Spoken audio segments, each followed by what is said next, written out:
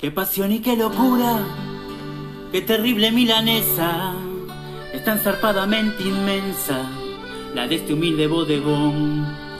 Y con el queso y el jamón, chorreando salsa por la mesa, con huevo frito y con panceta, se me afloja el mentón. Y vos, sushi, y vos, sushi, no existís, sos papa para pajaritos.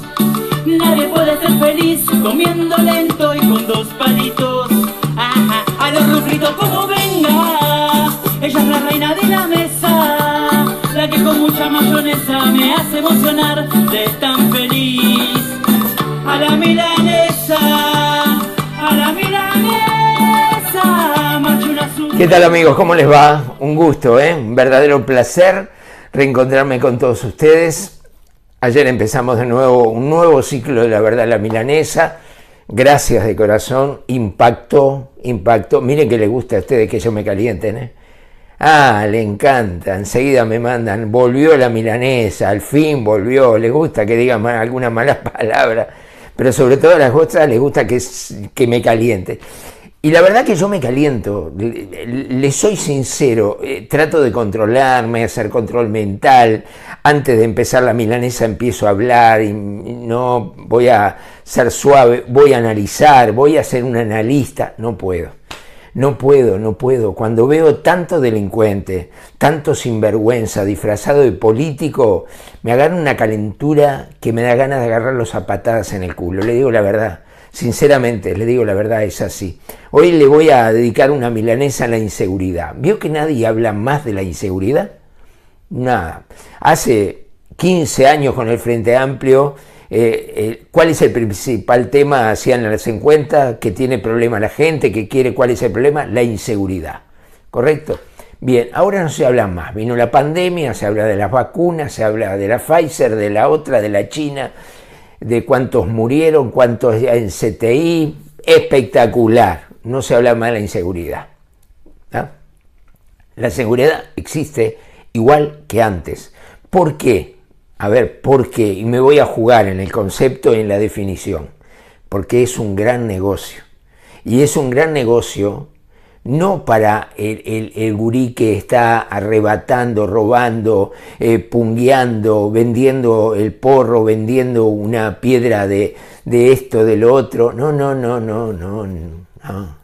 La inseguridad es el gran negocio de los de arriba, de los de arriba. El narcotráfico es un gran negocio de los de arriba.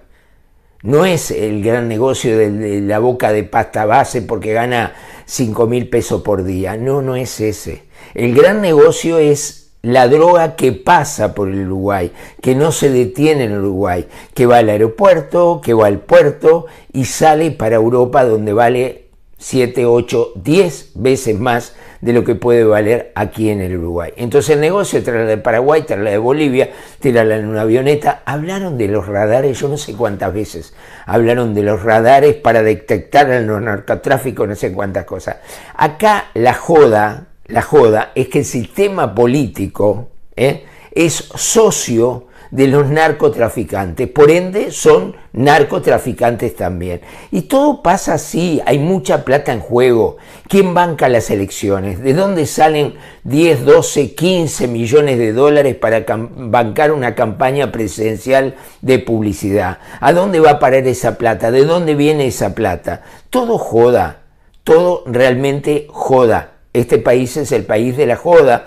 Y ustedes dirán, ¿cómo va a ser el país de la joda si cuando hay eh, eh, eh, un informe internacional dice que Uruguay es de los países menos corruptos que hay? Somos tres millones y poco de habitantes. Es una, una corrupción galopante. Corrupción en todo, en todos los lugares donde investigás como periodista, donde te metes como periodista, hay joda de verdad joda de verdad. Ayer me llamó una señora, quiero denunciar a un edil de Canelones del Partido Nacional porque me estafó, yo fui pareja de él, esto, el otro, me contó cómo me hizo hacer una empresa, me puso a mí a nombre y yo le vendía al, Estado y él era el que cobraba, yo no sabía nada, ahora me dejó adentro, debo 300 millones del BPS, llevo 500 millones, debo de la DGI, no me voy a poder jubilar Muy bien, señora, quiere denunciar, denunciamos. Muy bien. Yo voy para ahí. ¿Dónde vive usted? En Sayao. Muy bien, yo voy a Sayao. Antes de salir me llama, dejemos para mañana, porque me llamó el abogado de él a decirme que íbamos a arreglar alguna manera. ¿Saben lo que había pasado? Lo que pasó es muy simple. Hola, ¿qué tal? Mirá, hablé al bocón, me va a venir a hacer una nota. O pagás todo eso o yo te hago bolsa en el bocón. Entonces no declaran el bocón, no dicen, eso es corrupción, es corrupción la chiquita, la chiquita. Ahora, vamos a las cárceles.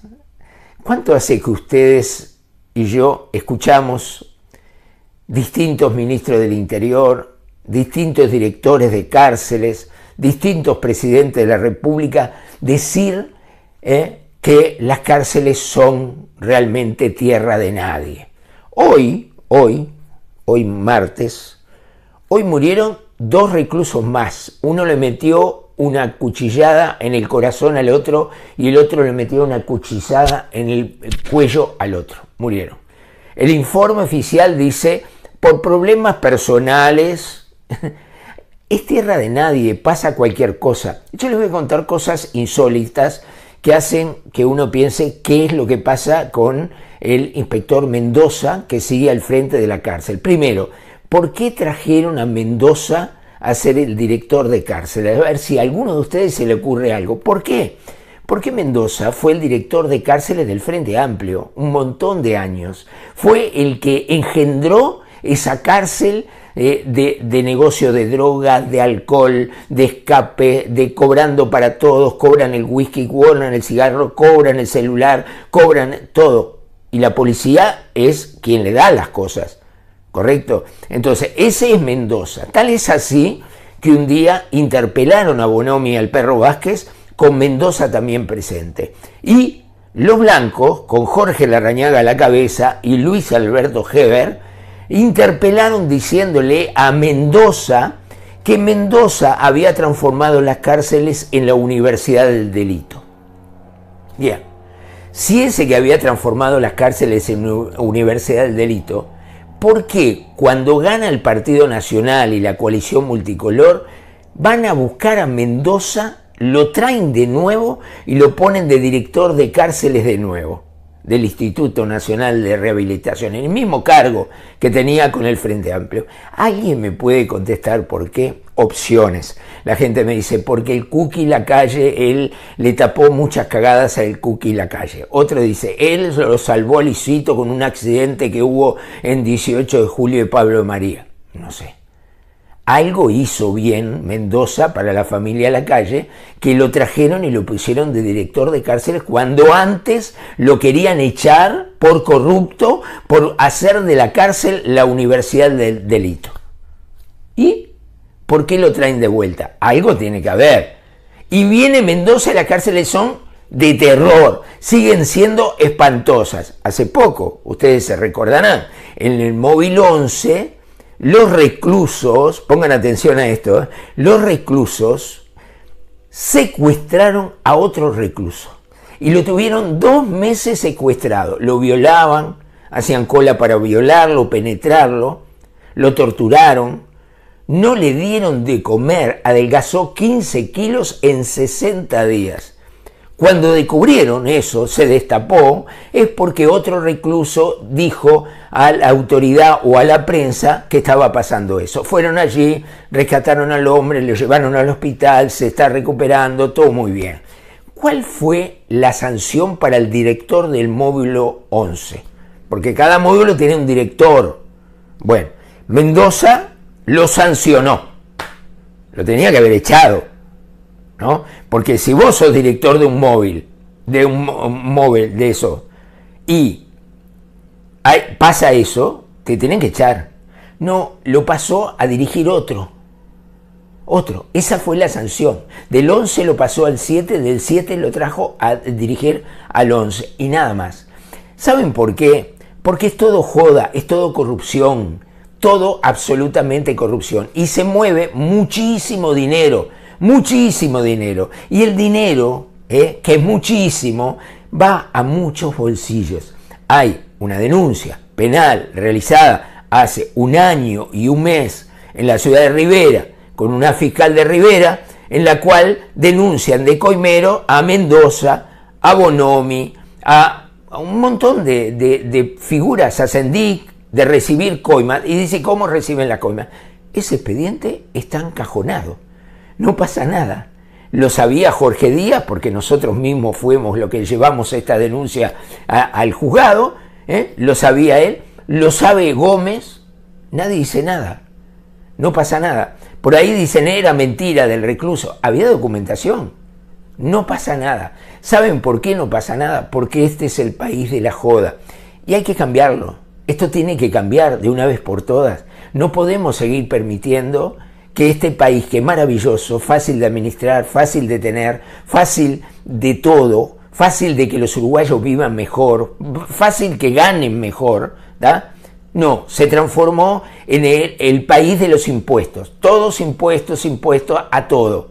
Y te después todavía queremos sacar al Frente Amplio del culo.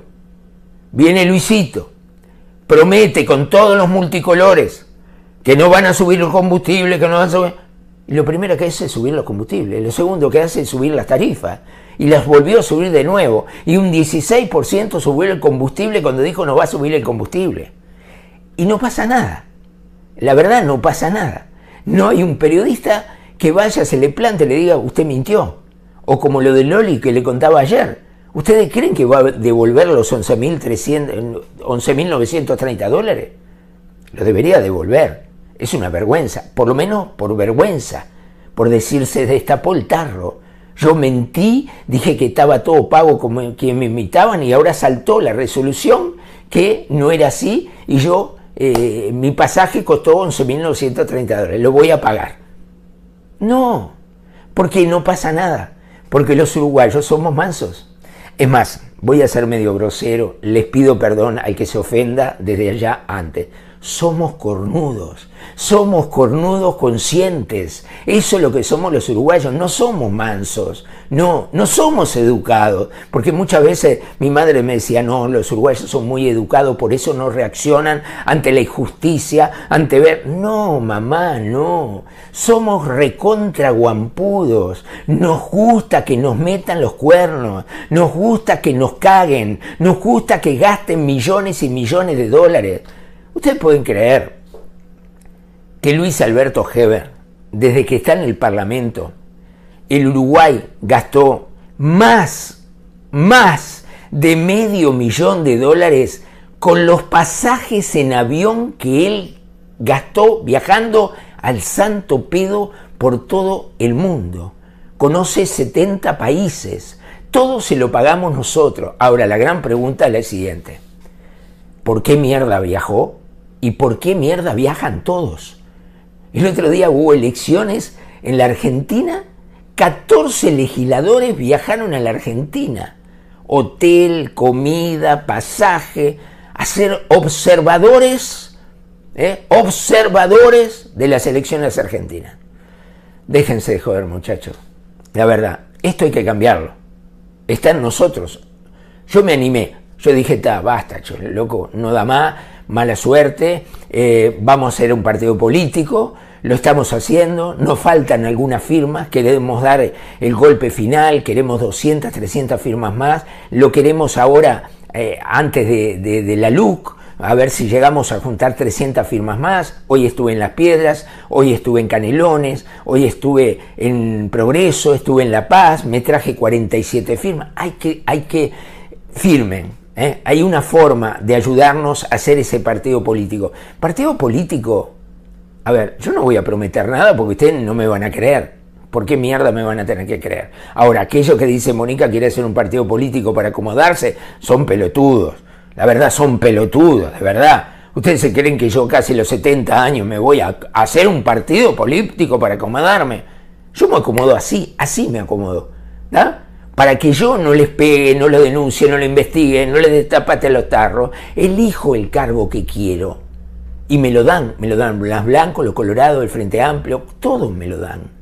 Para que yo no rompa más los huevos, me lo dan todos. ¿Ustedes se creen que yo tengo que hacer todo ese camino largo para tener... Yo no necesito un cargo. Yo vivo de mi trabajo. No somos gente de plata en casa, no, somos laburantes. Hemos laborado como bestia. Mirta se jubiló, cobra 16.800 pesos. Yo si me jubilo voy a cobrar lo mismo. Entonces, tengo que seguir laburando, me gusta el laburo que hago, y dije, les voy a romper las pelotas haciéndole un partido político. Y cuando lo dije ya me di cuenta que les molestaba. ¿Saben por qué les molesta? Porque ellos saben que una cosa es el loquito bonica con el bocón, ¿eh? tirando mierda, y otra cosa es un partido político, que tiene todos los derechos que tienen todos los partidos políticos y que ya habla un partido político y ya presenta proyectos y propuestas un partido político. Entonces, a ver, ¿me quieren ayudar? No estoy solo, no estoy solo, ya, hemos conseguido, no sé, mil y pico larga de, de firmas gente que apoya, gente que dice está bárbaro, que haya un partido político honesto, que haya un partido político que no sean políticos. No queremos ni ser ninguno. Hay un montón de muchachos jóvenes, jóvenes con ganas, con los huevos bien puestos, con los ovarios bien puestos, mujeres valientes, mujeres preparadas, hombres preparados. Hay gente que empuja. Esa es la gente que tiene que decir, basta, como dice acá atrás, basta ya, basta, le pone la manito, basta, che, basta, se terminó la joda. ¿A dónde vas a viajar? ¿Me permite, señor presidente? Acá no se viaja nada. ¿Qué mierda tienen que salir a viajar si no traen nada para el país? Van a gastar y nada más que gastar plata. Y así, por lo menos, les vamos a romper los huevos permanentemente en nombre suyo en nombre suyo y de toda la gente honesta que se haya cansado de los políticos de mierda, hijo de mil puta, que nos han arruinado la vida muchísimo, que tenemos los hijos que se quieren al exterior, nietos que se quieren al exterior, todo el mundo se quiere la mierda de este país de mierda, y este es el mejor país del mundo, el mejor, solo tenemos que volver a retomar las riendas del país y que no esté en manos de ese grupete inmundo de mafiosos que hicieron una asociación para delinquir, han perdurado, se han puesto para siempre, primero el padre, después el hijo, después el nieto, y ya están preparando el bisnieto para que sea presidente de la República. Déjense de joder. Basta, vamos a decir basta, nos vamos a plantar. Ayúdenme, ayúdennos, a todos nosotros, ayúdennos. Solo la firma para nosotros estar respaldados por los uruguayos, presentarnos en la Corte Electoral, tener un partido, y ahí se empieza a jugar el partido de verdad. Ahí vamos a trancar fuerte en la mitad de la cancha. Ahí vamos a ir a cabecear con todo, con los codos bien abiertos. Y los vamos a enfrentar en la cancha de ellos. Y vamos a jugar de visitante y no nos van a hacer un solo gol. Y les vamos a estar destapando todos los tarros sucios ahí en la cara de ellos, mirándolo a los ojos, les vamos a decir todo y los vamos a denunciar en la justicia, en el Parlamento, en las comisiones, en los organismos internacionales. Se terminó la joda de verdad. Si nos juntamos, si somos muchos, ahí está, acá estás. Esta es la herramienta que tenemos que tener. Y unirnos con otros partidos chicos que buscan lo mismo o cosas similares, ¿por qué no? No somos los dueños de la verdad. Pero todos esos chiquitos que nos calentamos, esos son los que tienen que estar unidos de verdad para hacer mierda al sistema político profesional, al que nos ha arruinado la vida. Eh, nos reencontramos cuando mañana, ¿sí? Bueno, póngale de nomás. Eh, nos reencontramos mañana. Chao, que pasen bien. Chao, chao, chao, chao, chao, chao.